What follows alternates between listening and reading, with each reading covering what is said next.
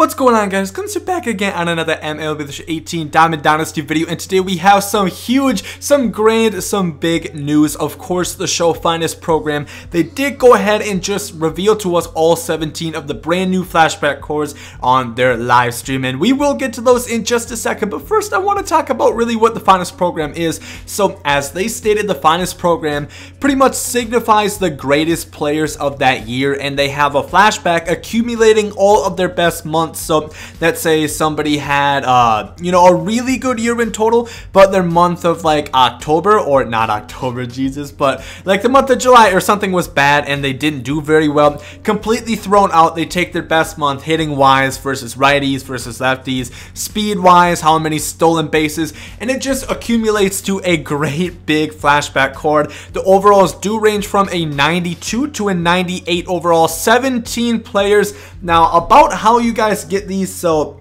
this will all be collection. This will not be really any missions, although there are two missions. You can win 50 Battle Royale games and you get a guaranteed non-sellable finest player. And also you'll have to put, uh, and also another way of getting one is beating all 30 teams starting from the lowest, so the Orioles, and going to the best, so the Red Sox most likely. Um, and doing those two, you're going to get two guaranteed free non-sellable finest players. Also, everybody, once this does drop and we do not know yet, or at least I do not know yet. I've uh, I'm already recording by the time this started.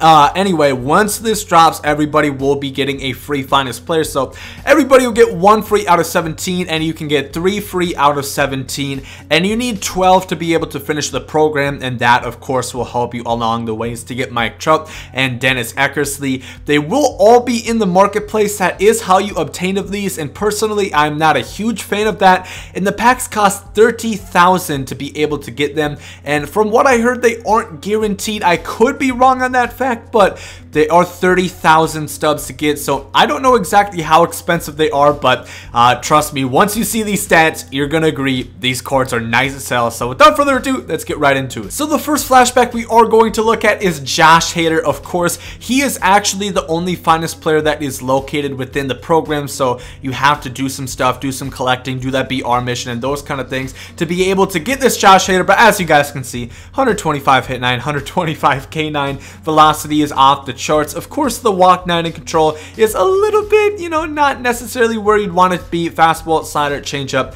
He's going to be one of the best lefty relievers in the game. He is the only reliever, or I think the only pitcher with 125 hit 9, 125 K9. Not much else to say. Absolutely disgusting. So now all the rest of these players are going to be on the market, starting with 92 overall Aaron Nola. As you guys can see, pretty good stamina, pretty good hit 9 and K9.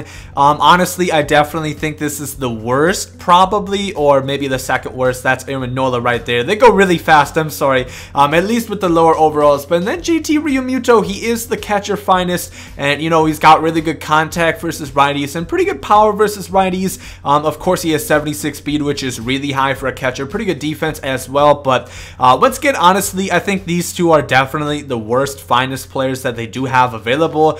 Um, of course, Aaron Nola have uh, talking about him. Uh, he's not necessarily great at anything, although he does have pretty good pitches. Honestly, I've never really used his live series card. I don't really know how good he is. You guys are going to have to use your own judgment. And then JT Realmuto, of course.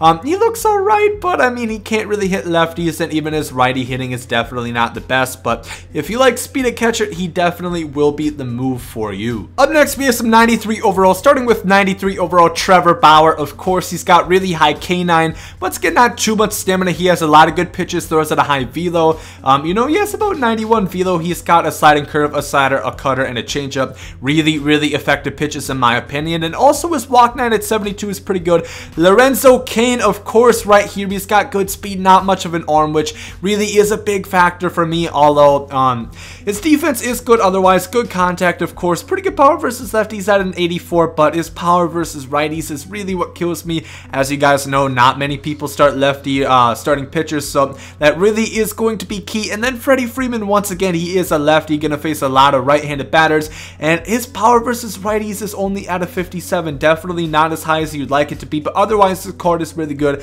Good against lefties, good contact, pretty good fielding for a first baseman, decent speed. He is going to be a good lefty bat, but I definitely think this card is a little bit underwhelming. Maybe he didn't hit righties for that much power this year. Um, I guess I thought he had power for a little bit more against righties, but that card definitely not as good as I would like it to be. And now we get into the really exciting cards. As you guys can see, Javier Baez. You guys can already see a preview of his stats. He is amazing at everything. 81 speed, 91 arm. You know, he has uh, 90 plus contact, 102 power versus lefties.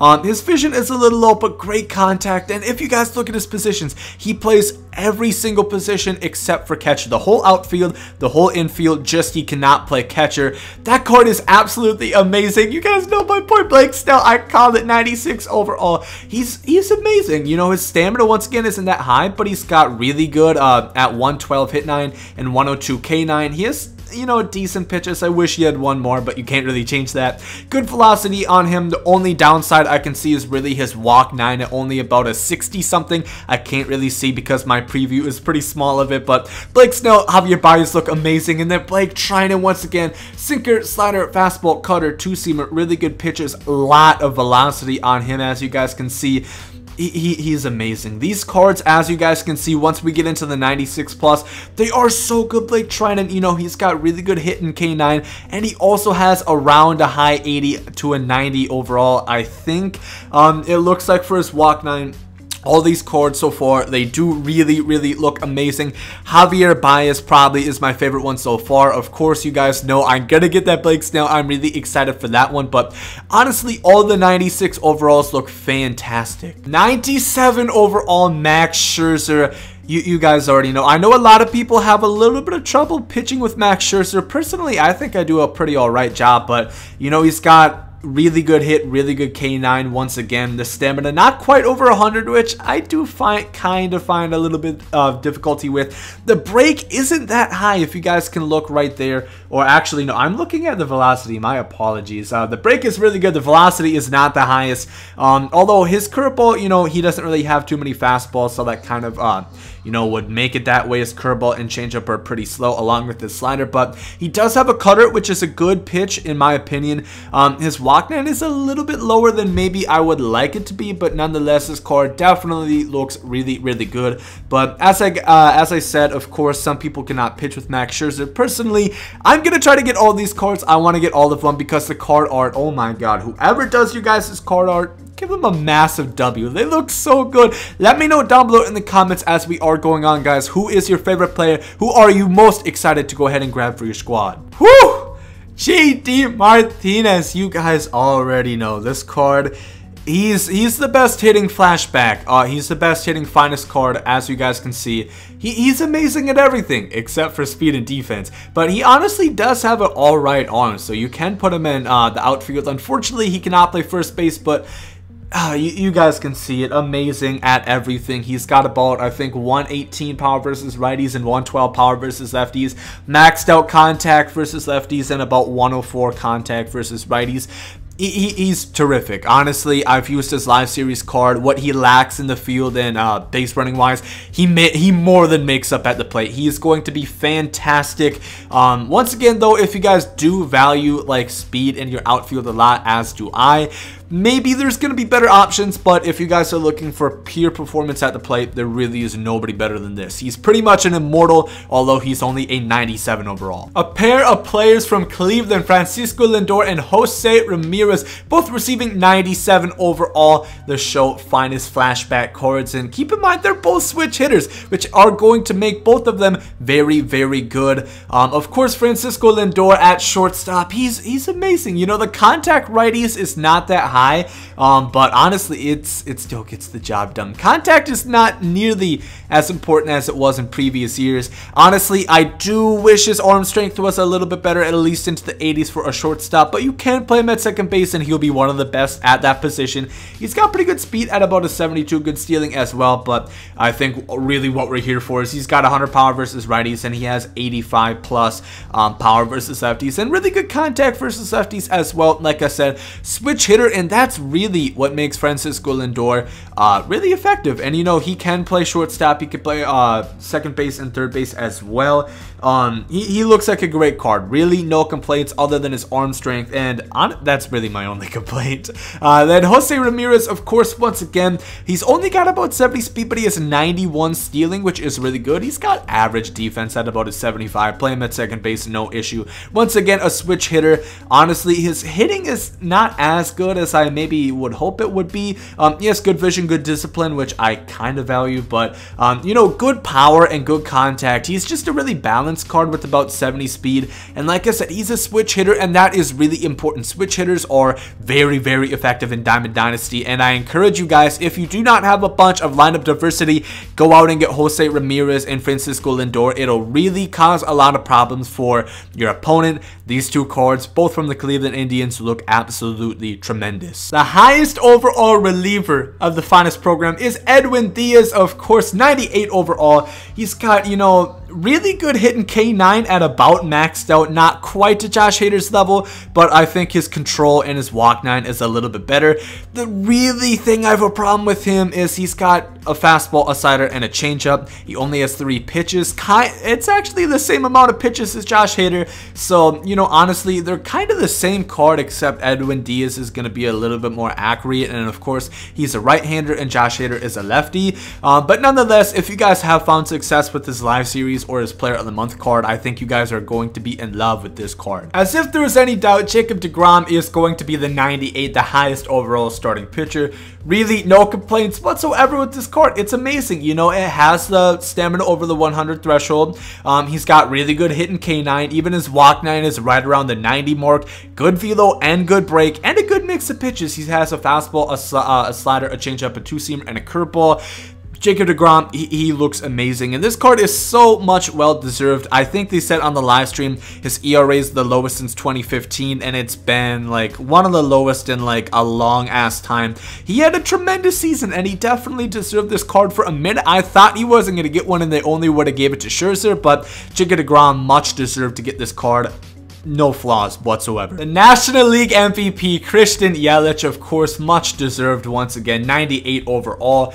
Um, you know, he has good defense. His arm strength is a little low. He's got about 80 field, uh, not fielding, 80 speed and good stealing as well. And he's a really good hitter. You know, he has 100 plus. Uh, he has 102 power versus righties and 90 power versus lefties. And he has good contact as well. Almost maxed out versus lefties and really high versus righties as well. I personally really like his swing. I've used his live series card it's amazing. He's one of the best lefty bats that you're going to get. Once again, put him in left field. That arm strength really is not going to be much of an issue. Uh, all I'm going to say is I'm sorry if you did his POTM card um, because you pretty much just wasted a lot of stubs because this card is miles better than that one. But like I said, so well deserved for Christian Yelich. But Marlins still won the trade.